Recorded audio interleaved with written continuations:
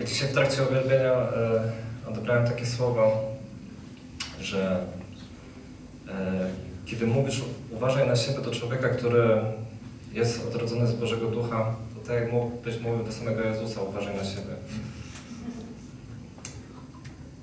Spokutuj z tego. Amen. Amen. Przemek.